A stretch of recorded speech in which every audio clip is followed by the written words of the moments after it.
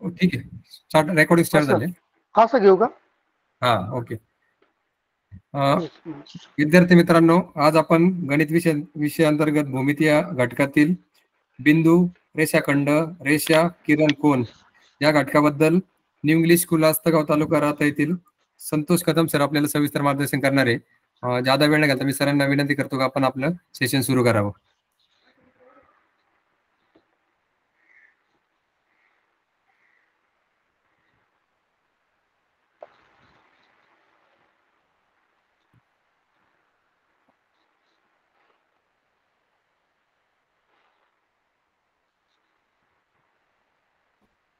हा सर दिसतं ना क्लिअर आता? पेज पूर्ण उलट दिसते सर उलट. भूमिती नाव असं उलट दिसतंय खाली.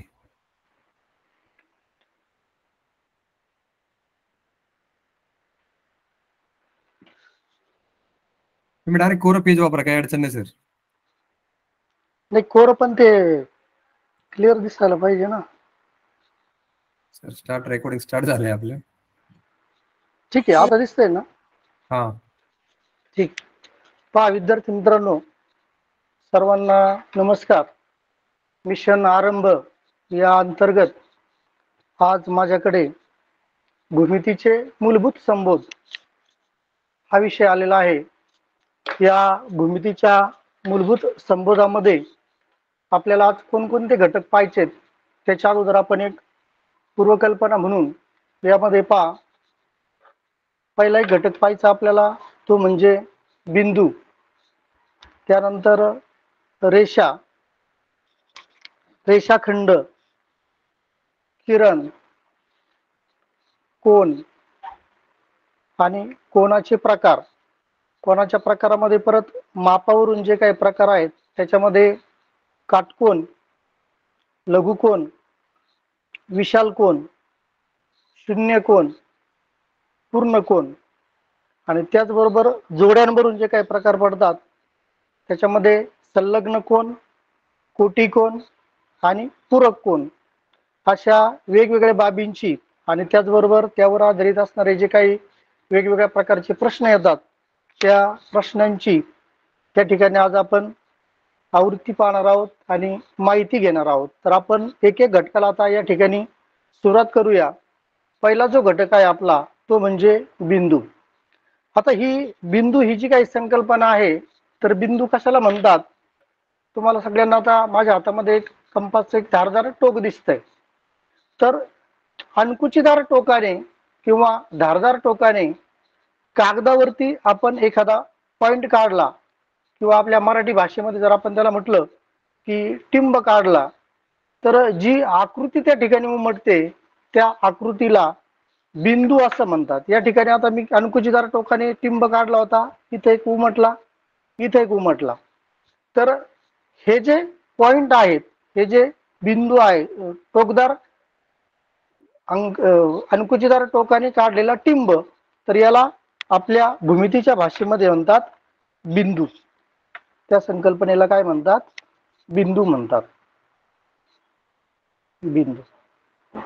आता ही बिंदू ही जी काही संकल्पना आहे ती अत्यंत सूक्ष्म कल्पना आहे. पेनाच्या टोकावरती किंवा अणकुचीदार टोकावरती एकाच वेळेस असंख्य बिंदू त्या ठिकाणी सामावलेले असतात. आता भूमितीमध्ये जेव्हा आपण हा बिंदू काढतो हा बिंदू काढल्यानंतर या ठिकाणी आता मी एक बिंदू घेतला या बिंदूला नाव द्यावं लागतं. तर जेव्हा आपण भूमितीमध्ये बिंदू काढतो त्या बिंदूला नाव देत असताना इंग्रजी कॅपिटल लेटरचा वापर करायचा. समजा आता या ठिकाणी मी बिंदू काढला या बिंदूला नाव दिलं मी यम तर या ठिकाणी झाला तो बिंदू यम. याचं वाचन करताना म्हणायचं बिंदू यम. बिंदू यम. दुसरा बिंदू घेतला त्याला नाव दिलं मी टी. तर त्याचं वाचन करताना वाचन कसं करायचं? बिंदू टी. म्हणजे अगोदरची भौमितिक आकृती आहे. त्या भौमितिक आकृतीचं नाव घ्यायचं आणि त्याच्यानंतर त्याला जे आपण कॅपिटल अक्षरामधलं नाव दिलेलं आहे त्या नावाचा उल्लेख करायचा. समजा तिसरा बिंदू घेतला मी आणि त्याला नाव दिलं ओ. तर याचं वाचन करताना काय करायचं? बिंदू ओ अशा पद्धतीने म्हणजे ही जी काही बिंदू संकल्पना आहे ही बिंदू संकल्पना अतिशय सूक्ष्म आहे. अणकुचीदार टोकाने कागदावर पॉइंट काढल्यानंतर जी सूक्ष्म आकृती मिळते तिला बिंदू असं म्हणतात. आणि बिंदूला नाव देण्यासाठी इंग्रजी कॅपिटल अक्षराचा वापर करतात. ही झाली आपली पहिली संकल्पना. त्यानंतर दुसरी संकल्पना जी आहे ती म्हणजे रेषा. आता रेषा कशाला म्हणायचं? पहा. हा एक बिंदू घेतला. त्या शेजारी मी परत दुसरा बिंदू घेतला. तिसरा चौथा पाचवा सहावा सातवा आठवा नववा असा क्रमाक्रमाने एका विशिष्ट दिशेने जेव्हा मी बिंदूंचा समूह काढतो किंवा बिंदूंचा समूह घेतो अनंत बिंदूंचा समूह परंतु अट काय आहे त्याला एका विशिष्ट दिशेने. असे असंख्य बिंदू मी एकमेकांसमोर घेतले. तर असंख्य बिंदूंचा समूह जेव्हा तयार होतो तेव्हा त्या आकृतीला भूमितीच्या भाषेमध्ये म्हणतात रेषा. अनंत बिंदूंचा एका विशिष्ट दिशेने असलेला समूह. आता ही रेषा जी संकल्पना आहे ही रेषा दोन्हीही बाजूने अमर्याद लांबीची असते. दोन्हीही बाजूने अमर्याद लांबीची असल्यामुळे या ठिकाणी या रेषेला दोन्हीही बाजूने बाणाचे टोक केलेले असतात. त्याला आपण ॲरो म्हणतो. कधी कधी विचारतात की परीक्षेला अं, रेषेच्या दोन्ही बाजूला बाणाचे टोक का असतात. तर ही रेषा दोन्हीही बाजूला अमर्याद लांबीची. म्हणजे हिची मर्यादा इथं संपलेली नाही. ही फक्त कागदापुरतीच मर्यादित नाही. ही उजवीकडे देखील अमर्याद लांब गेलेली आहे. त्याचबरोबर ती डावीकडे देखील अमर्याद लांब गेलेली आहे. आता समजा या ठिकाणी मी एक रेषा काढली आणि त्याचबरोबर त्याच्याखाली दुसरी एक रेषा काढली. पहिली रेषा आणि दुसरी रेषा. आणि फसवण्यासाठी कधी कधी प्रश्न विचारतात की या दोन रेषांपैकी लहान रेषा कोणती आणि मोठी रेषा कोणती? तर आपण पटकन उत्तर देऊन मोकळे होतो की एक नंबरची जी काही रेषा आहे ती रेषा मोठी आहे आणि दोन नंबरची जी रेषा आहे ती रेषा लहान आहे. परंतु हे आपलं उत्तर चुकतं. त्याचं कारण का? तर मी आत्ताच सांगितलं की रेषा दोन्हीही बाजूला अमर्याद लांबीची असल्यामुळे त्या ठिकाणी ती रेषा लहान की मोठी हे आपल्याला ठरवता येणार नाही. आकृतीमध्ये जरी दिसताना वरची एक नंबरची रेषा मोठी दिसत असली आणि दोन नंबरची रेषा छोटी दिसत असली तरी बाणाचे टोक असं सांगतात की या दोन्ही रेषा दोन्ही बाजूला अमर्याद लांबीच्या आहेत. त्यामुळे या ठिकाणी जरी दिसताना त्या लहान किंवा मोठ्या दिसत असतील तरी त्या लहान किंवा मोठ्या नाहीत. त्या दोन्ही रेषा सारख्याच आहेत. रेषा दोन्हीही बाजूला अमर्याद लांबीची असते. आता भूमितीतली ही जी काही दुसरी संकल्पना आहे. रेषा. या रेषेला आपल्याला नाव द्यायचंय. मग जेव्हा आपल्याला रेषेला नाव द्यायचं असतं तेव्हा बाणाच्या टोकी डोकाकडील दोन बिंदू आपल्याला घ्यावे लागतात दोन्ही बाजूचे. मग या रेषेला नाव देण्यासाठी मी काय केलं? डाव्याकडे डाव्या बाजूच्या बाणाच्या टोकाकडे या ठिकाणी एक बिंदू घेतला आणि दुसरीकडे उजव्या ठिकाणी बाणाच्या टोकाकडे हा एक दुसरा बिंदू घेतला. या रेषेवरील दोन्ही टोकाकडे दोन बिंदू घेतले आणि मग त्या बिंदूला जसं आपण इथं वरती बिंदूला नाव दिलं होतं त्याच पद्धतीने या रेषेवर दोन्ही टोकाला घेतलेल्या दोन बिंदूंना आपल्याला नावं द्यायचे मग या रेषेला नाव दिलं मी. पहिल्या बिंदूला नाव दिलं यस आणि दुसऱ्या बिंदूला नाव दिलं आर. तर या ठिकाणी या रेषेचं वाचन करायचं आपल्याला. मग या रेषेचं वाचन करताना आपण काय म्हणणार? अगोदर भूमितिक आकृतीचं नाव घ्यायचं. रेषा. रेषा. आणि मग बिंदूंचं नाव वाचायचं. रेषा यस आर. तिचं नाव कसं लिहिणार आपण? रेषा यस आर आता दुसरा भाग असा आहे का या रेषेचे दोन्ही पण टोक सारखेच असल्यामुळे तुम्ही हेच नाव रेषा आर एस अशा पद्धतीने देखील लिहू शकता. म्हणजे या रेषेला रेषा एस आर म्हटलं काय किंवा रेषा आर एस म्हटलं काय काही फरक पडत नाही तुमचं नाव चुकत नाही. कधी कधी या रेषेला दोन अक्षरी नाव देण्याऐवजी एक अक्षरी सुद्धा नाव देता येतं. मग एक अक्षरी नाव देताना कशा पद्धतीने देतात? आता ही जी खालची रेषा आहे या खालच्या रेषेला मला एक अक्षरी नाव द्यायचे मग जेव्हा आपल्याला रेषेला एक अक्षरी नाव द्यायचं असतं तेव्हा त्या रेषेचे जे काही दोन बाणाचे टोक आहेत त्या बाणाच्या टोकाच्या समोर इंग्रजी कॅपिटल अक्षराचं त्या ठिकाणी काय करायचं? नाव लिहायचं. मग या रेषेला मला नाव द्यायचंय पी. मग मी बाणाच्या टोकाच्या समोर पी अक्षर लिहिलं. आणि याचं वाचन करताना मी काय म्हणणार आहे? रेषा पी. समजा तुम्ही इकडे एल नाव घेतलं फक्त आणि रेषा एल म्हटले तरी पण काही फरक पडत नाही. अशा पद्धतीने ही जी काही आपली दुसरी संकल्पना आहे कोणती? रेषा. ही रेषा परत एकदा ऐका. अनंत बिंदूंचा एका विशिष्ट दिशेने असणारा समूह. तिला म्हणायचं रेषा. रेषा दोन्ही बाजूला अमर्याद लांबीची असते. म्हणून तिला दोन्ही बाजूला बाणाचे टोकं दाखवलेले असतात. रेषा लहान किंवा मोठी हे आपण ठरवू शकत नाही. रेषा ही लहान किंवा मोठी नसते तर सर्व रेषा या सारख्याच असतात. रेषेला नाव देताना दोन अक्षरी नावाचा वापर करून देखील रेषेला नाव देता येतं. आणि त्याचबरोबर रेषेला एक अक्षरी नावाचा उल्लेख करून देखील रेषेला त्या ठिकाणी आपल्याला नाव देता येतं. आता ही जी काही रेषा आहे या रेषेच्या बाबतीत काय केलं जातं? तर ही रेषा काढताना कमीत कमी आपल्याला दोन बिंदूंची आवश्यकता असते. या ठिकाणी मी एक बिंदू घेतला ओ आणि दुसरा एक बिंदू घेतला के. मग हे दोन बिंदू घेतल्यानंतर या दोन बिंदूमधून जाणारी मी एक रेषा काढली. रेषा ओ के. याचा अर्थ असा झाला की दोन बिंदू मधून एक आणि एकच रेषा जाते. दोन बिंदू मधून एक आणि एकच रेषा जाते. रिकाम्या जागासाठी कधी कधी विचारतात हे. दोन बिंदू मधून टिंब टिंब रेषा जातात. दोन बिंदू मधून एक आणि केवळ एकच रेषा जाते. आता दोन बिंदू मधून जाणारी आपण एक रेषा काढली ही एकच रेषा जाऊ राहिली. पण मी काय केलं? या ठिकाणी दुसरा बिंदू घेतला. त्या बिंदूला नाव दिलं ओ. त्या बिंदूला काय नाव दिलं मी? ओ. आता ह्या एका बिंदू मधून जाणारे मी काय केलं? किती रेषा जातात? ते पाहण्यासाठी मग मी पहिली रेषा काढली. त्यानंतर दुसरी रेषा काढली. त्यानंतर तिसरी रेषा काढली. चौथी. म्हणजे एक लक्षात येतं की एक बिंदू जर घेतला आपण आणि त्या एका बिंदू मधून जाण्या जर रेषा काढायला लागलो तर एकाच बिंदू मधून एकाच बिंदू मधून जाणाऱ्या असंख्य रेषा काढता येतात.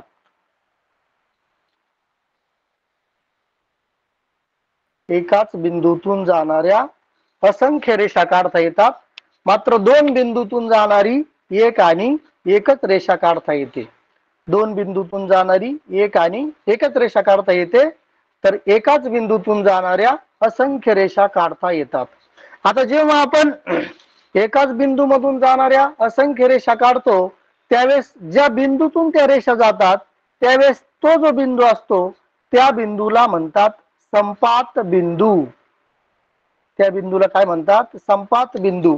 म्हणजे या ठिकाणी जो तुम्हाला ओ बिंदू आपण घेतलेला होता हा ओ बिंदू या ओ बिंदू मधून एक दोन तीन चार अशा चार रेषा आपण काढलेल्या होत्या. या सर्व ओ या एकाच बिंदूतून जात आहेत. म्हणून ओ या बिंदूला या ठिकाणी काय म्हणायचं? संपात बिंदू. पण समजा मी एक रेषा काढली आणि त्या रेषेला छेदून जाणारी दुसरी रेषा काढली. मग आता ही रेषा आहे टी आणि ही रेषा आहे के. या दोन रेषा एकमेकींना एच या बिंदूमध्ये छेदतात. या दोन रेषा एकमेकींना एच या एका बिंदूमध्ये छेदतात. जेव्हा दोन रेषा एकमेकींना एका बिंदूमध्ये छेदतात त्यावेळेस त्या बिंदूला संपात बिंदू म्हणण्याऐवजी त्या बिंदूला म्हणायचं छेदन बिंदू त्या बिंदूला काय म्हणायचं? छेदन बिंदू या ठिकाणी असणारा जो छेदन बिंदू आहे त्या छेदन बिंदूचं नाव काय आहे? यच. म्हणजे बिंदूच्या बाबतीत आपण तीन गोष्टी पाहिल्या. बिंदू अणकुचीदार टोकाने कागदावर टिंब काढल्यानंतर जो पॉइंट मिळतो त्याला बिंदू असं म्हणतात. बिंदू ही अतिशय सूक्ष्म संकल्पना आहे. बिंदूला नाव देण्यासाठी इंग्रजी अक्षरातील कॅपिटल अक्षरांचा त्या ठिकाणी वापर केला जातो. त्यानंतर दोन बिंदूमधून जाणारी एक आणि एकच रेषा काढता येते. एका बिंदूमधून जाणाऱ्या असंख्य रेषा काढता येतात. जेव्हा असंख्य रेषा आपण असंख्य म्हणजे काय? दोन पेक्षा जेव्हा दोनच रेषा काढतो त्यावेळेस ज्या बिंदूतून त्या जातात त्यावेळेस त्याला म्हणायचं छेदन बिंदू आणि दोन पेक्षा संख्या वाढली तीन किंवा तीन पेक्षा जास्त रेषा जर एका बिंदूतून जायला लागल्या तर त्या बिंदूला म्हणायचं संपात बिंदू दोन रेषा असतील छेदन बिंदू दोन पेक्षा जास्त रेषा असतील त्याला म्हणायचं संपात बिंदू. त्यानंतर या बिंदूच्या बाबतीत पुढची जी संकल्पना आहे ती पुढची संकल्पना म्हणजे एक रेषीय बिंदू. त्याला म्हणतात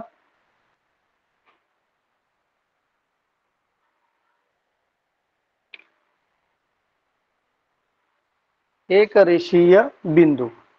आता एक रेषीय बिंदू म्हणजे काय? तर आता आपण पाहिलं की दोन बिंदू मधून एक आणि एकच रेषा जाते. पण या ठिकाणी मी तीन बिंदू घेतले. हा एक घेतला हा एक घेतला आणि हा एक घेतला. असे तीन बिंदू घेतले. यांना नाव दिलं एस एम टी आणि हे जे तीन बिंदू आहेत या तीन बिंदू मधून जाणारी मी एक रेषा काढली.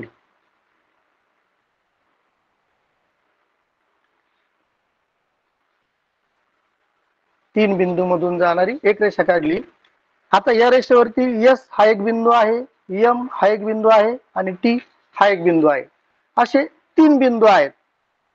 सुरुवातीला आपण पाहिलं की दोन बिंदू मधून एक आणि एक रेषा जाते. परंतु जेव्हा मी तीन बिंदू घेतले आणि या तीन बिंदू मधून जाणारी जेव्हा एक रेषा येते तेव्हा त्या रेषेवर असणारे जे काही बिंदू आहेत त्या बिंदूंना एक रेषीय बिंदू असे म्हणतात. एक रेषीय बिंदू म्हणजे इथं बिंदू यस बिंदू यम आणि बिंदू टी हे तीनही बिंदू कसे आहेत? आपले एक रेषीय बिंदू आहेत. एकाच रेषेवर असणारे. मग एका रेषेवर किती बिंदू? सुरुवातीला आपण सांगितलं की रेषा म्हणजे अनंत बिंदूंचा संग्रह. एका सरळ दिशेने विशिष्ट दिशेने गेलेला. मग या रेषेवरती असे असंख्य बिंदू आहेत. मग एका रेषेवरती असे असंख्य बिंदू जरी असतील तरी त्यापैकी आपण घेतलेले बिंदू जर त्या रेषेवरतीच असतील तर त्या बिंदूंना म्हणायचं एक रेषीय बिंदू. आता मी इथं दुसरी एक रेषा घेतो.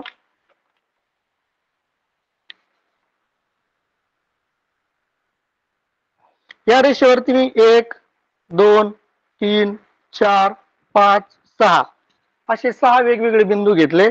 त्यांना क्रमाने नाव दिलं A B C D E आणि एफ आता हे सहाची सहा बिंदू या ठिकाणी एकाच रेषेवर असल्यामुळे या सर्व बिंदूंना आपण म्हणणार एक रेषीय बिंदू.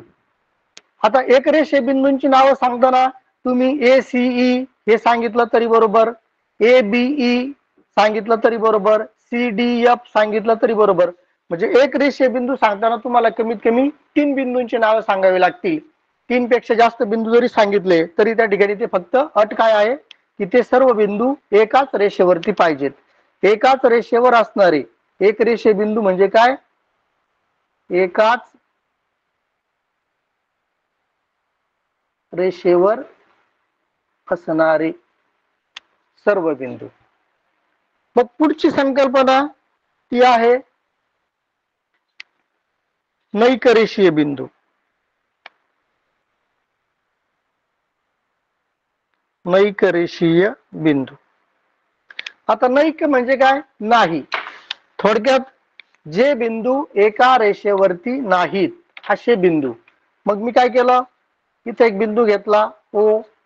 इकडे एक बिंदू घेतला के इकडे एक बिंदू घेतला यस इकडे एक बिंदू घेतला यल आणि मग आता या बिंदूंमधून जाणारी रेषा काढली मी. ओ आणि यल मधून जाणारी रेषा काढली.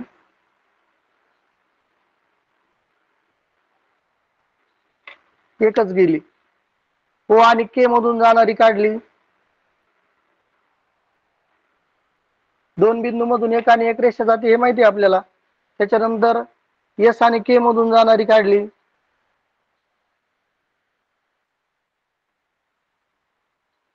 आता या ठिकाणी ह्याच्या रेषा काढलेल्या आहेत आपण घेताना ओ के एस एल असे चार प्रकारचे बिंदू घेतले होते.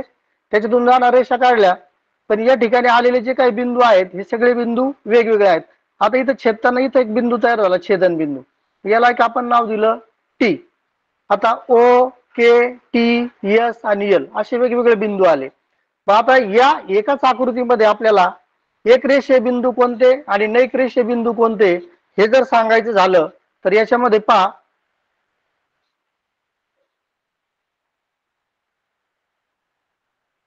एक रेषे बिंदू जे आहेत ते एक रेषे बिंदू आहेत. ओ टी आणि यल बिंदू ओ बिंदू टी आणि बिंदू यल का? तर हे तीनही बिंदू एकाच रेषेवर आहेत. याच्यातले नैक रेषीय बिंदू कोणते आहेत? नैक रेषीय. म्हणजे एकाच रेषेवर नसणारे. मग नैक रेषे पहा. O K T. O K T हे नैक रेषे बिंदू आहेत. त्यानंतर K T L. K T L. हे सुद्धा नैक रेषे बिंदू आहेत. त्यानंतर L T S L T S. म्हणजे यातले कोणते पण दोन रेषेवरचे आणि एक बाजूचा बिंदू जर घेतला तर त्याला आपण त्या ठिकाणी काय म्हणतो? नैक रेषे बिंदू म्हणतो. आता इथं एक रेषे बिंदू आणखी एक तयार झाला. आपण छेदन बिंदू घेतल्यामुळे टी के टी एस. म्हणजे इथं के टी आणि एस हे तीन बिंदू देखील काय आहेत? एक रेषे आहेत. परत एकदा लक्षात घ्या. दोन पेक्षा जास्त बिंदू म्हणजे तीन किंवा तीनपेक्षा अधिक संख्या असणारे बिंदू जर एकाच रेषेवरती असतील तर त्या रेषेला म्हणतात एक रेषीय बिंदू. आणि तीन किंवा तीन पेक्षा अधिक बिंदू जर एकाच रेषेवर नसतील तर त्या बिंदूंना म्हणायचं नैक रेषीय बिंदू. या ठिकाणी आपण भूमितीतल्या ज्या संकल्पना पाहतो त्यामध्ये बिंदू झाला रेषा झाला त्याच्यानंतर रेषेमध्ये एक रेषीय बिंदू नैक रेषीय बिंदू संपात बिंदू छेदन बिंदू इत्यादी बाबी झाल्या. त्याच्यानंतर पुढचा जो भाग आहे आता पुढचा भाग तो आहे रेषाखंड.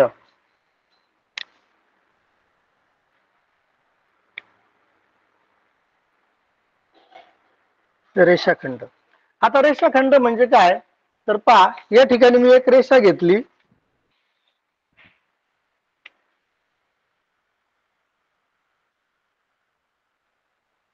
रेषा दोन्ही बाजूला अमर्याद लांबीची असते त्याच्यामुळे आपण बाणाचे टोक काढले. आणि या रेषेवरती मी दोन बिंदू घेतले. डब्ल्यू आणि एक्स हे दोन बिंदू घेतले. आणि मग हे दोन बिंदू घेतल्यानंतर मी काय केलं? ही जी रेषा होती या रेषेतला डब्ल्यू आणि एक्स एवढाच भाग बाजूला काढून घेतला. मर्यादित भाग. रेषा अमर्याद लांबीची असते. आणि त्या अमर्याद लांबीमधून मी काय केलं? रेषेचा एक विशिष्ट लांबीचा भाग बाजूला काढून घेतला. रेषेचा मर्यादित भाग. तर मला या ठिकाणी काय आलं? डब्ल्यू एस एवढी जी रेषा मिळाली. रेषेचा भाग येतो. मर्यादित भाग. ही जी आकृती मिळते या आकृतीला रेषाखंड असं म्हणतात. रेषाखंड म्हणजे काय? परत एकदा पहा. रेषेचा मर्यादित भाग. रेषेचा मर्यादित भाग. त्याला म्हणायचं रेषाखंड. आता जेव्हा आपण रेषाखंड घेतो तेव्हा रेषाखंड घेताना त्या रेषाखंडाला सुद्धा काय करावं लागतं आपल्याला? नाव द्यावं लागतं. मग या ठिकाणी मी हा एक रेषाखंड घेतला हा दुसरा घेतला आणि हा तिसरा घेतला. आता नीट लक्षात घ्या. रेषाखंड म्हणजे रेषेचा मर्यादित भाग. मग रेषाखंडाला नाव देताना त्याचे जे दोन्ही टोक आहेत त्याला अंत्यबिंदू म्हणतात. हा एक अंत्यबिंदू आणि हा एक कडेचा अंत्यबिंदू. या दोन अंत्यबिंदूंना आपण काय करावं लागतं? नावे द्यावं लागतात आणि त्या अंत्यबिंदूंच्या नावावरून त्या ठिकाणी रेषाखंडाचं नाव आपण ठरवतो. मग या ठिकाणी या रेषाखंडाला नाव दिलं मी ए बी. आता याचं नाव घेताना आपण कसं लिहिणार आहोत? तर इथं म्हणणार आपण रेषाखंड ए बी.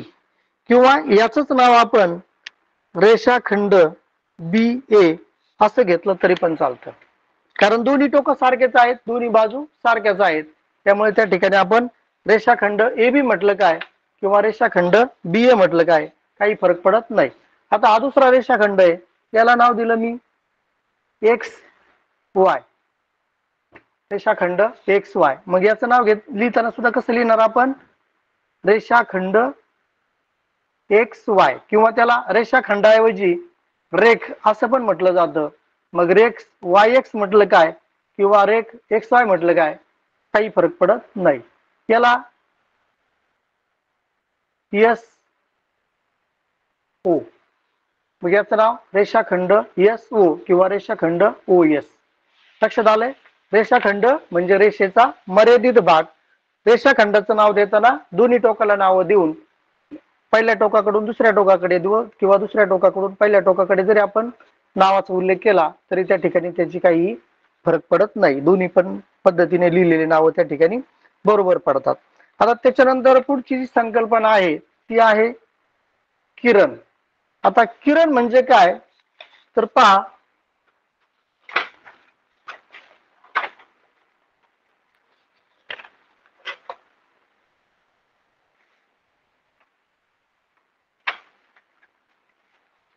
किरण ही जी संकल्पना आहे तर किरणामध्ये काय होतं?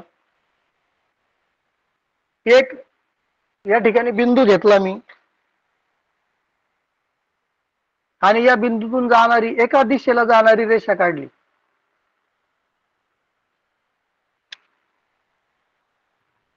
त्याला नाव दिलं बी टी. हा जो बिंदू आहे ज्या बिंदूपासून किरण सुरू झाला.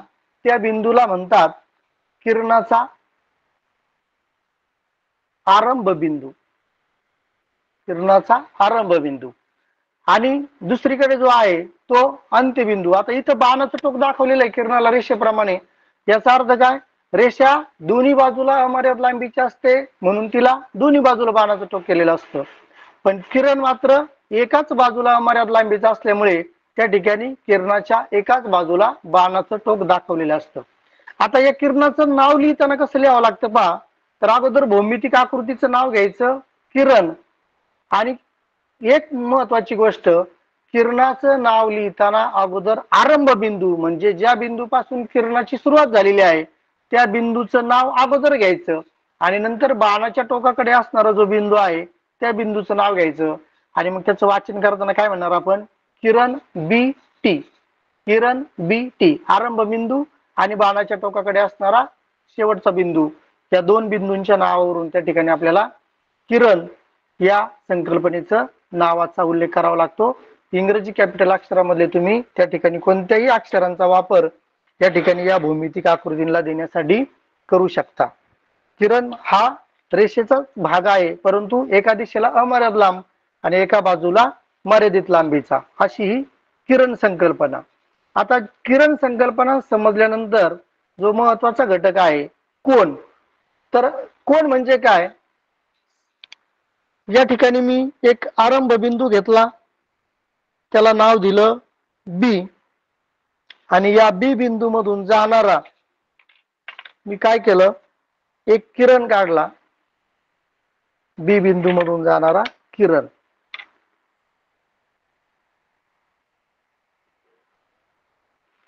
इकडं नाव दिलं ए.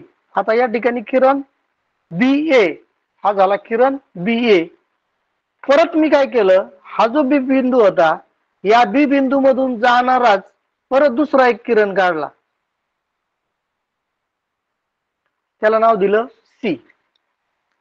या ठिकाणी घेताना मी दोन किरण घेतले. किरण बी ए आणि किरण बी सी. हे दोन किरण एकाच बिंदूतून जात असल्यामुळे तयार झालेली जी काही आकृती आहे त्या आकृतीला भौमितिक भाषेमध्ये म्हणतात कोण? त्या आकृतीला भूमितिक भाषेमध्ये काय म्हणतात? कोण? आता या कोणाचं नाव लिहिताना पा कोणाचं नाव लिहिताना तीन प्रकारे लिहिता येतं. कोणाचं चिन्ह वापरायचं? कोण? ए बी सी कोण? ए बी सी किंवा कोण? C B A. C B A. याच्यामध्ये अट काय आहे? कोणाचं नाव लिहित असताना त्या एकाच आरंभ बिंदू जवळ कोण तयार झालेला आहे? त्या आरंभ बिंदूचं नाव हे मध्यभागी आलं पाहिजे. ए बी सी बी मध्ये आला. सी बी ए बी मध्ये आला. अशा पद्धतीने कोणाचं नाव? तीन अक्षरांचा वापर करून. इथं काय केलेलं आहे आपण? तीन अक्षरे वापरलेली आहेत. याऐवजी कोणाचं नाव लिहिताना आपण केवळ एका अक्षराचा वापर करून देखील लिहू शकतो. मग एक अक्षराचा वापर करताना नाव लिहिताना काय करायचं? कोणाचं चिन्ह काढायचं? आणि ज्या बिंदू जवळ तो कोण तयार झालेला आहे त्या बिंदूचं नाव लिहायचं. कोण बी. त्याचं वाचन करताना कसं करायचं? कोण बी. म्हणजे तुम्ही तीन अक्षरी नावाचा वापर करून कोणाचं नाव लिहू शकता? किंवा कोणाचं एक अक्षरी नाव लिहून देखील कोणाचं नाव लिहू शकता? फक्त भौमितिक आकृत्यांना नावं देत असताना इंग्रजी कॅपिटल अक्षरांचाच त्या ठिकाणी काय करावं लागतं? आपल्याला वापर करावा लागतो.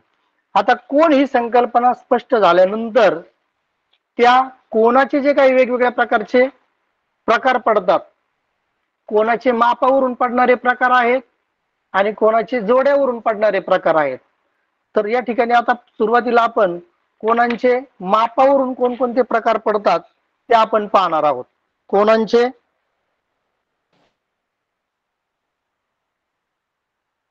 मापावरून प्रकार.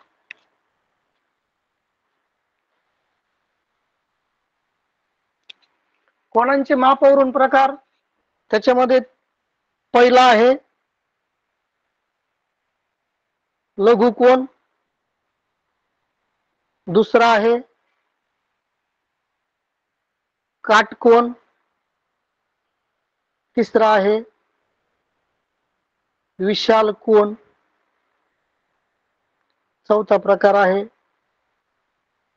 शून्य कोण? आणि पाचवा प्रकार आहे पूर्ण कोण. असे मापावरून कोणांचे पाच प्रकार आहेत. लघु कोण काटकोण विशाल कोण शून्य कोण आणि पूर्ण कोण. आता आपण एकेकाची माहिती या ठिकाणी सविस्तरपणे पाहणार आहोत.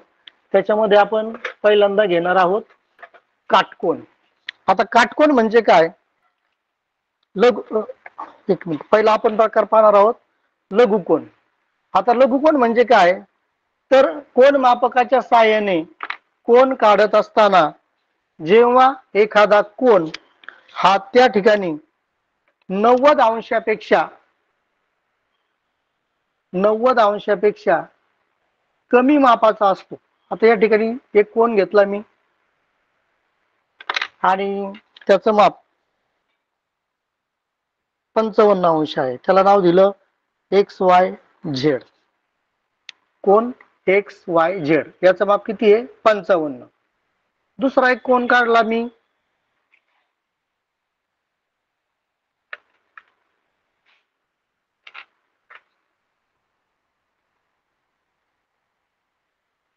P Q R. त्याचं माप आहे सत्तर अंश. आता दोन्ही कोणांची माप जर पाहिले आपण तर पहिलं एक्स वाय झेड याचं जे माप आहे ते आहे पंचावन्न अंश. दुसरा जो आहे पी क्यू आर त्याचं माप आहे सत्तर अंश. म्हणजे दोनांची जर तुलना केली तर दोन्ही कोण हे नव्वद अंशापेक्षा जास्त आहेत का कमी आहेत? कमी माप असणारे आहेत. नव्वद अंशापेक्षा कमी माप असणारे जे काही कोण असतात त्या कोणांना लघुकोण असे म्हणतात. नव्वद लघु म्हणजे कितीपेक्षा कमी? नव्वदपेक्षा कमी.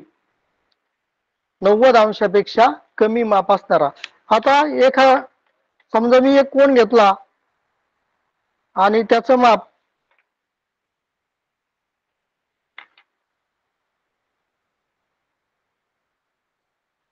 जे एच के याचं माप अठ्ठ्याऐंशी आहे.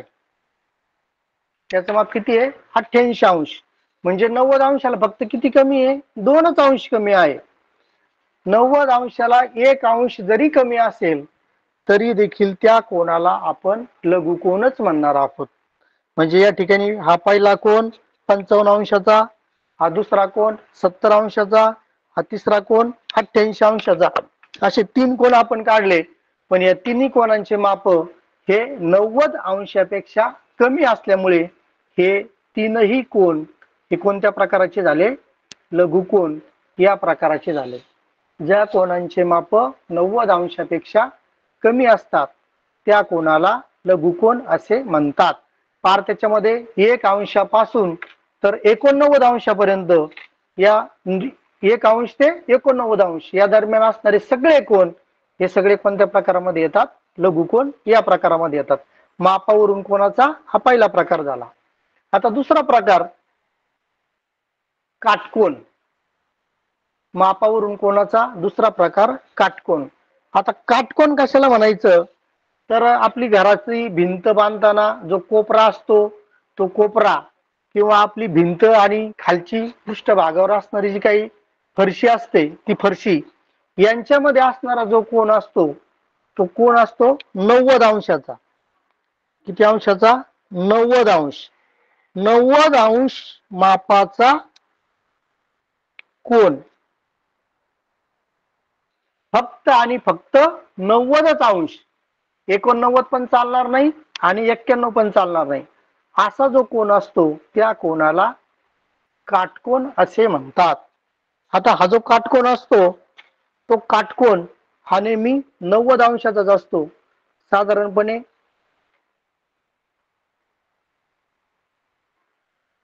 भिंत बांधताना गोंडी लोक ज्या ओळंब्याचा वापर करतात तो ओळंबा लावतात म्हणजे काय करतात? नव्वद अंशामध्ये ते भिंतीचं बांधकाम करत असतात.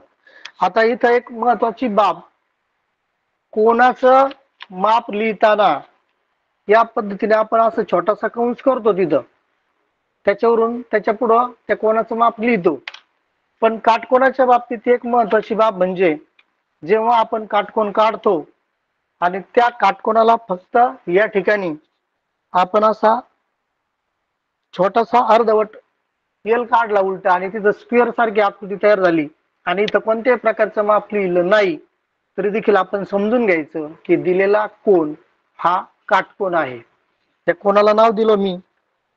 ओ एम के. कोणाला नाव दिलं? O M K. आणि या ठिकाणी माप लिहिलेलं नाहीये. फक्त इथं काय केलंय मी? खून केलेले आहे. त्या स्क्वेअरच्या खुनेवरून आपण लक्षात घ्यायचं की हा जो कोण आहे काटकोण काटकोणाचं माप फक्त आणि फक्त किती असतं? नव्वद आणि नव्वद अंश. एवढंच असतं. त्याच्यामध्ये कोणत्याही प्रकारचा फरक होत नाही. हा कोणाचा माफावरून आपण पाहिलेला दुसरा प्रकार आहे. आता तिसरा तिसरा जो प्रकार आहे कोणाचा?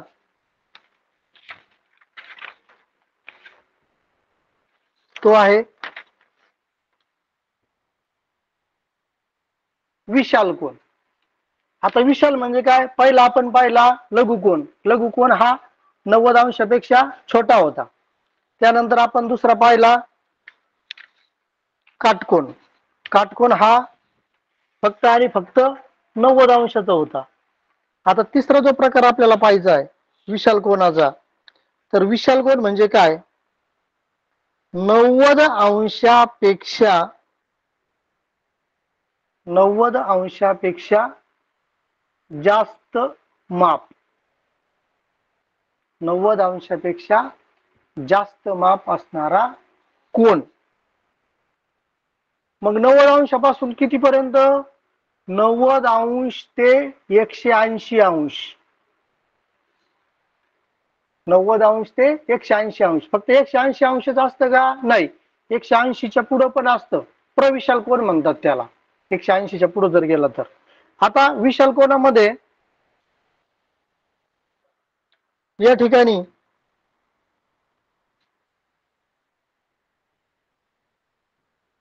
हा एक कोण घेतला? P Q R.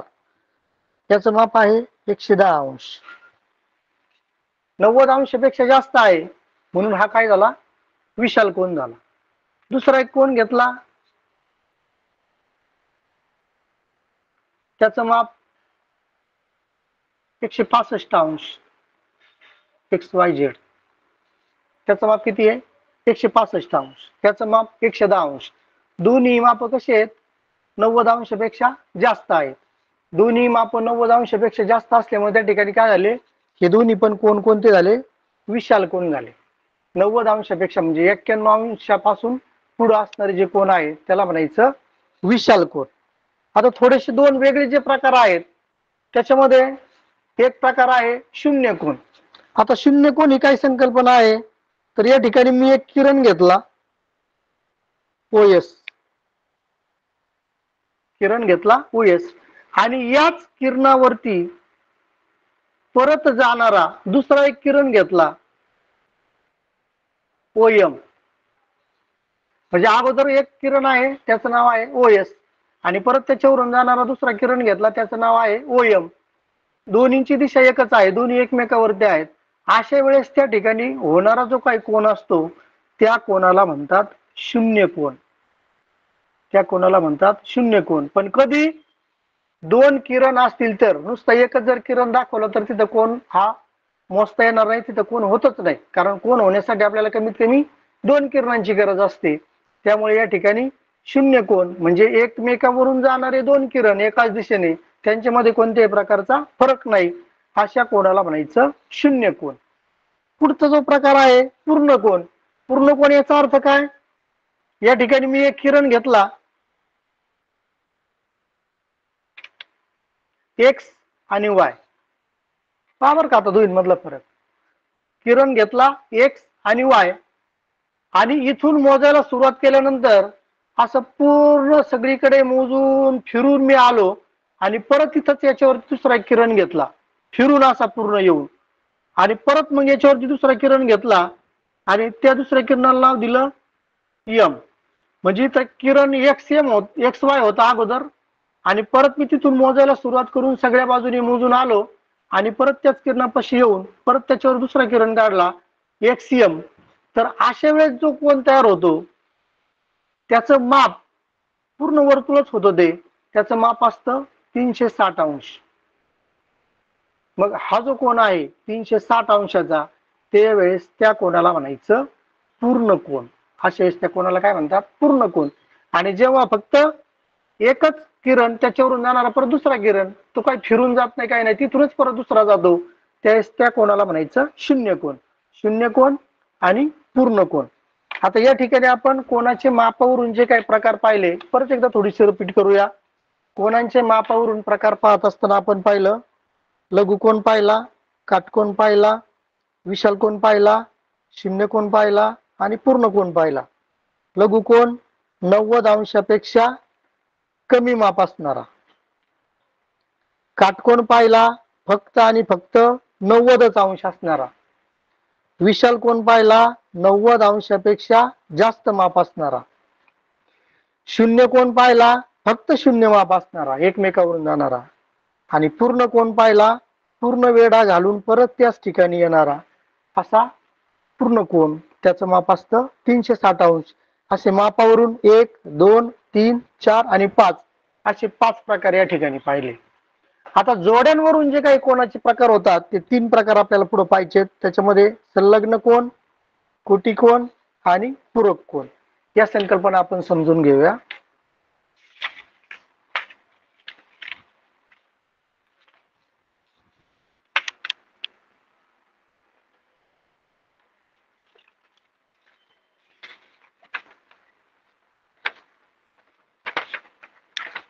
याच्यामध्ये आता कुटी कोण पाहिजे आपल्याला? काटकोण आपण पाहिलाय. काटकोण म्हणजे काय? तर नव्वद अंश मापाचा असणारा कोण पण तो एकच कोण आहे स्वतंत्र.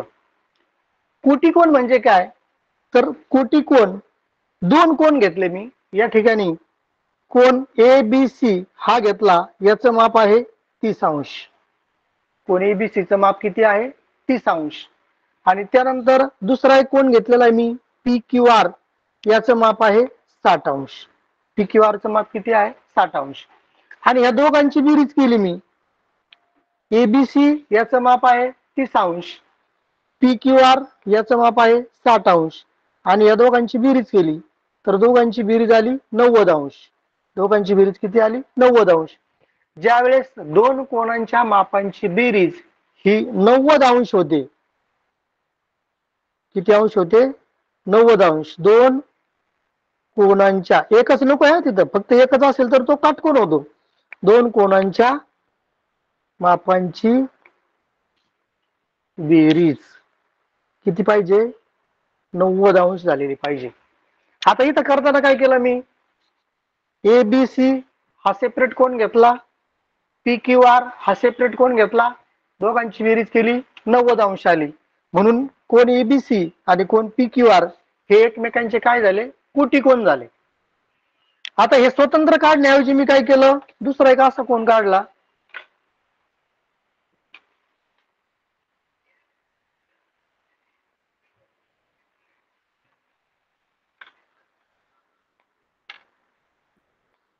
एक्स वाय झेड के असा कोण काढला.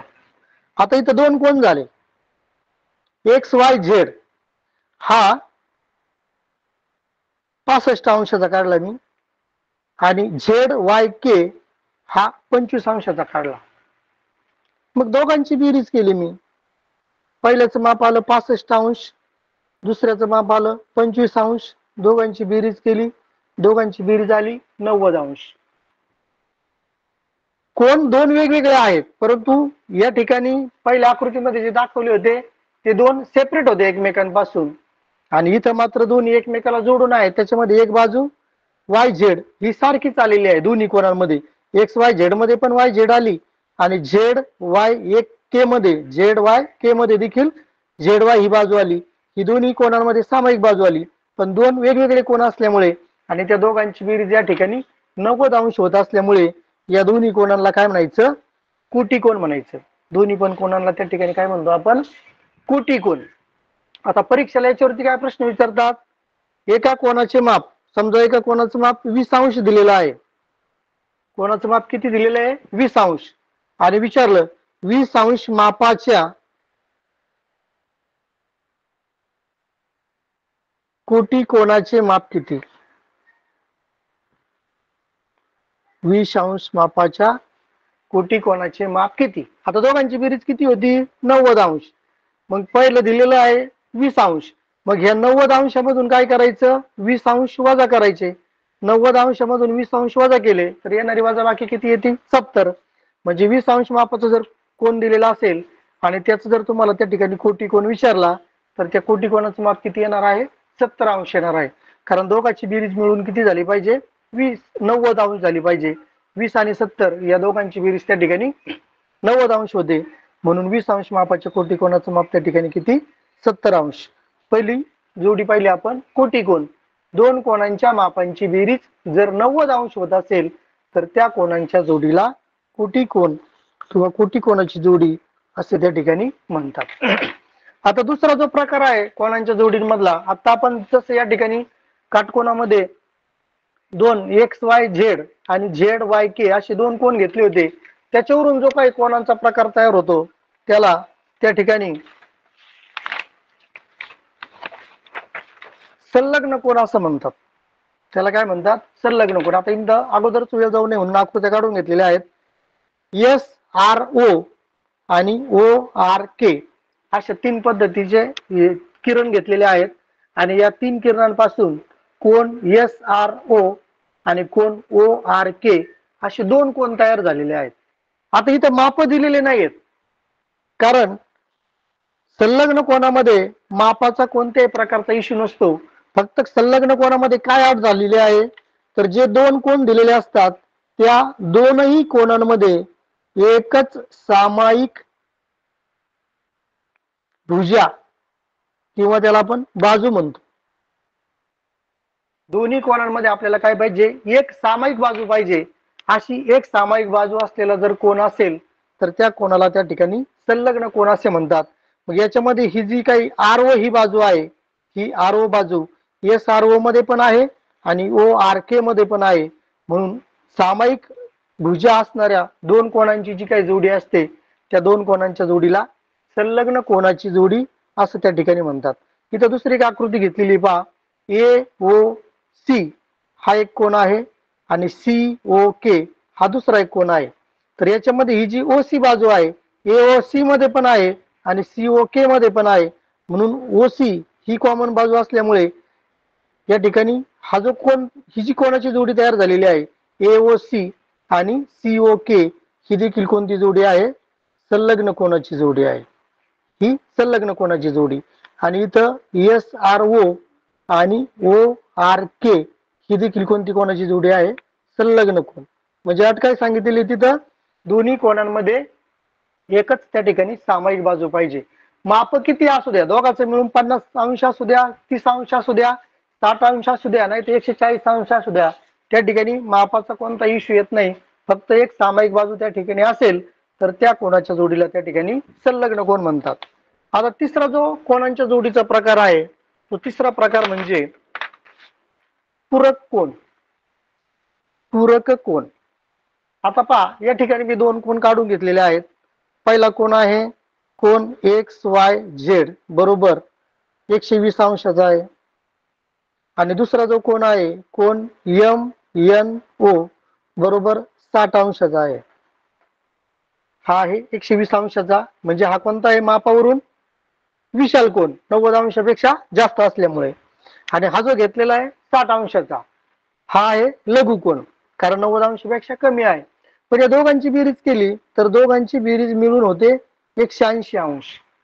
मग ज्या वेळेस ज्या दोन कोणांच्या मापांची बेरीज ही एकशे अंश ऐंशी अंश होते दोन कोणांच्या मापांची बेरीज एकशे ऐंशी अंश होते त्यावेळेस त्या कोणांची जी काही जोडी असते त्या कोणांच्या जोडीला पूरक कोणाची जोडी म्हणतात. पूरक कोण म्हणजे काय? दोन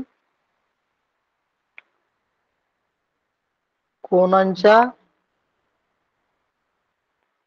मापाची बेरीज किती आली पाहिजे? एकशे ऐंशी अंश. आता इथं सुद्धा काय केलं? मी घेताना एक्स वाय झेड सेपरेट कोण घेतला? एम एन ओ सेपरेट कोण घेतला? दोघांची बेरीज केली एकशे ऐंशी अंश झाली. पण त्याऐवजी मी काय केलं? एक संलग्न कोणासारखी जोडी घेतली.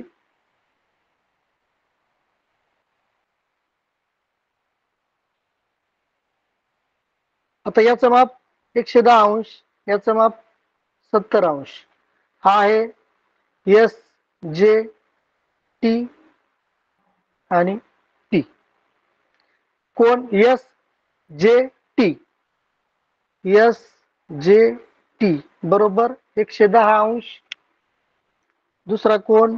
टी जे पी बरोबर सत्तर अंश. दोघांची बेरीज केली एकशे ऐंशी अंश झाली. म्हणजे हे दोन्ही कोण काय झाले? एकमेकांचे पूरक कोण झाले? आता वैशिष्ट्य असं आहे दोघांची बेरीज एकशे ऐंशी अंश झाली त्याच्यामुळे ते झाले एकमेकांचे पूरक कोण? पण या दोन्ही कोणांमध्ये टी जे ही सामायिक बाजू आली त्यामुळे हे दोन्ही कोण एकमेकांचे संलग्न कोण देखील झाले? फक्त एक बाब लक्षात ठेवा संलग्न कोणामध्ये? कोणाच्या दोन्ही कोणांची माप किती होतात बेरीज करून? त्याला कोणतंही महत्त्व नसतं. बेरीजेला फक्त पूरक कोण असतील तर दोघांची बेरीज एकशे ऐंशी अंश झाली पाहिजे. आणि जर कोटी कोण असतील तर कोटी कोणामध्ये दोन्ही कोणांची बेरीज किती झाली पाहिजे? नव्वद अंश झाली पाहिजे. अशा पद्धतीने या ठिकाणी कोणांच्या जोड्यावरून जे काही प्रकार पडतात त्या प्रकारामध्ये आज आपण कोणकोणते कोण पाहिले? संलग्न कोण? एकच सामायिक आरंभ बाजू. कोटी कोण? दोघांची बेरीज नव्वद अंश. पूरक कोण? दोघांची बेरीज एकशे ऐंशी अंश. अशा पद्धतीने भूमितीचे आजचे जे मूलभूत संबोध होते त्या मूलभूत संबोधामध्ये परत एकदा रिपीट करतो. बिंदूपासून आपण सुरुवात केली. अणकुचीदार टोकाने कागदावर टिंब काढला तर त्या ठिकाणी जी आकृती मिळते त्याला बिंदू म्हणतात. एक रेषे बिंदू तीन किंवा तीनपेक्षा अधिक बिंदू जर एकाच रेषेवर असतील तर एक रेषेबिंदू जर तीन पेक्षा अधिक बिंदू एका रेषेवर नसतील तर त्यांना नैक रेषेबिंदू म्हणतात. दोन पेक्षा अधिक रेषा जर एकाच बिंदूतून जात असतील तर त्याला संपाद बिंदू म्हणायचं. फक्त दोनच रेषा जात असतील तर त्याला छेदन बिंदू म्हणायचं. त्याच्यानंतर एकाच विशिष्ट दिशेने असणारा अनंत बिंदूंचा संच किंवा संग्रह त्याला म्हणायचं रेषा. रेषा दोन्ही बाजूला मर्याद लांबीची असते म्हणून तिला दोन्ही बाजूला बाणाचे टोक केलेले असतात. रेषेचा मर्यादित जर भाग आपण बाजूला घेतला तर रेषेचा मर्यादित भाग त्याला म्हणायचं रेषाखंड. त्याचे जे दोन्ही बाजूचे कडेचे बिंदू असतात त्यांना अंत्यबिंदू म्हणतात. एकच आरंभ बिंदू आणि एका दिशेला बाणाचं टोक असेल तर त्याला किरण असं म्हणतात. एकच आरंभ बिंदू आणि एकाच आरंभ बिंदू मधून जाणारे दोन वेगवेगळे किरण घेतले तर जी आकृती मिळते त्याला कोण म्हणतात? त्यानंतर कोणाचे जे काही प्रकार पडतात कोणाचे मापावरून पडणारे प्रकार? काटकोण म्हणजे नव्वद अंशाचा कोण लघु कोण नव्वदपेक्षा कमी असणारा कोण विशाल कोण नव्वद अंशापेक्षा जास्त असणारा कोण शून्य कोण एकाच किरणावरून जाणारा दुसरा किरण आणि पूर्ण कोण एकाच किरणावरून पूर्ण सर्व बाजूने वेढा मारून जाणारा दुसरा किरण ज्याचं माप तीनशे साठ अंश असतं त्याला पूर्ण कोण असं म्हणतात? आणि त्याच्यानंतर जोड्यांवरून एक सामायिक आरंभ बाजू असेल दोन्ही सामायिक दोन्ही कोणांमध्ये तर त्याला संलग्न कोण म्हणायचं? दोघांची बेरीज जर नव्वद अंश होत असेल तर त्याला कोटी कोण म्हणायचं? आणि दोन कोणांची बेरीज जर एकशे ऐंशी अंश होत असेल तर त्याला पूरक कोण म्हणायचं? अशा पद्धतीने एवढे घटक आपण या ठिकाणी आजच्या तासिकेमध्ये पाहिलेले आहेत.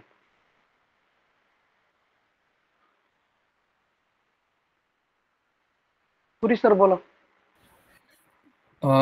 खूप खूप धन्यवाद सर. सर्व घटक सरांनी कव्हर केलेले आज आज आपण गणित विषय अंतर्गत भूमिती या घटकातील बिंदू रेषाखंड रेषा किरण आणि कोण तसेच कोणाचे सर्व प्रकार सरांनी आकृतीचं सविस्तरपणे आपल्या सर्वांना समजून सांगितलेले आहेत. विद्यार्थी मित्रांनी या घटकाशी निगडीत प्रश्न उत्तर स्कॉलरशिपच्या गाईडमधून सोडवण्याचा प्रयत्न करायचा आहे. असेच एक भूमितीचा घटक घेऊन आपण उद्या पुन्हा भेटणार आहोत. आठ वाजलेले आहेत. सरांनी सविस्तरपणे सर्व घटक पूर्ण केलेले आहेत. तर सर्वांच्या परवानगीने आजचा क्लास संपला असं मी डिक्लेअर करतो. सर थांबायचं? हा मुलांसाठी एक महत्वाची सूचना भूमिती हा जो काही घटक आहे भूमिती हा घटक आकलन जर तुम्ही करून घेतलं तर स्कॉलरशिपच्या परीक्षेमध्ये याच्यामध्ये तुम्हाला कोणत्याही प्रकारचे मार्क जाणार नाहीत. अशा प्रकारचे प्रश्न आपल्याला नक्कीच या ठिकाणी सोडवता येतात. आता उद्या आपण समांतर रेषा आणि छेदिका याच्यावर तो घटक पाहणार आहोत. त्या ठिकाणी सुद्धा अशाच कोणांच्या जोड्या आहेत. परंतु महत्वाची बाब म्हणजे केवळ आपण तासिका घेतली तासिकेमध्ये पाहिलं समजलं आणि नंतर आपण जर त्याच्याकडे दुर्लक्ष केलं तर संलग्न कोणकोणते आंतर कोणकोणते वितक्रम कोणकोणते पूरक कोणकोणते हे थोडंसं जम्बलिंग होतं. म्हणून आपण घेताना टप्प्याटप्प्याने घेतलेलं आहे. परंतु सगळ्यात महत्वाचं या कोणांवरती कोणत्या कोणांची बेरीज एकशे ऐंशी असते कोणाची नव्वद असते संलग्न कोणाची किती असते या बाबी आपण थोड्याशा चांगल्या प्रकारे आकलन करून घेतल्या तर आपल्याला एकदा या घटकाविषयी चांगली सविस्तर माहिती मिळाली तर स्कॉलरशिपमध्ये या भूमितीवर कोणत्याही प्रकारचा प्रश्न आला तर आपले अजिबात त्याच्यामध्ये मार्क जाणार नाहीत. त्यामुळे सगळ्या विद्यार्थ्यांना परीक्षेसाठी परीक्षेला अजून भरपूर टाइम आहे. तुम्हाला अभ्यासासाठी देखील भरपूर टाइम आहे. परंतु तुम्ही भरपूर सराव करा. अशा प्रकारच्या आपल्या तासिका चालू राहणार आहेत. आणि ज्या ज्या वेगवेगळ्या प्रकारच्या शंका येतील त्या शंका आपण निश्चितच विचारा. म्हणजे आपल्या मनामध्ये कोणत्याही प्रकारची शंका त्या ठिकाणी राहणार नाही. सर्वांना परत एकदा धन्यवाद.